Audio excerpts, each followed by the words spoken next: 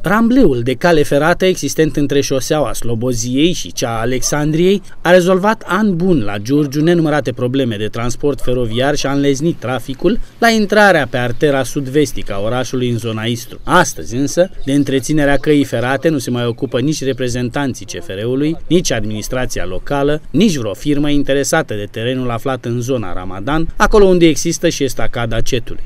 Asta probabil și pentru că pe drumul de fier rar mai trece câte un tren.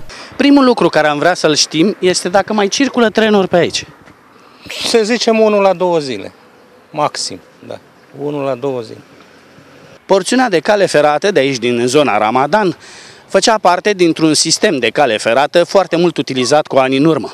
Astfel, prin ea se lega zona de sud a orașului cu gara Giurgiu, iar astăzi arată așa cum o vedeți, adică aproape de dezafectare. În zonă, vecinii susțin că, dincolo de mizeria existentă pe calea ferată, alături de ea s-a format o baltă cu papură și concert nocturn de broaște. Peste calea ferată s-a format un lac acolo, cu papură, cu broaște, cu pește, cu de toate. Nemulțumirile sunt mai multe când vine vorba de modul în care arată rambleul de cale ferată, terenul din imediata vecinătate și strada Ramadan, obiective realizate cu bani publici și lăsate astăzi de izbeliște. Este o mizerie de nedescris peste calea ferată. Uh, una că nu este îngrijit prin faptul că trebuia Uh, pomii curățați puțin toaletare, să zicem în termeni aceștia, și dacă pomii se curățau frumos la un metru înălțime, nu mai era stuful acela. Locuitorii giurgiuveni din această parte a orașului au nevoie de asfaltarea străzilor adiacente și de renunțarea la relele practici ale semenilor lor. Mai sunt și alții de pe, de pe oliciori care nu plătesc gunoiul, nu înțelegeți? Deci nu, nu plătesc la societate și foarte frumos ia punga sau ce are el acolo și aruncă peste calea ferată.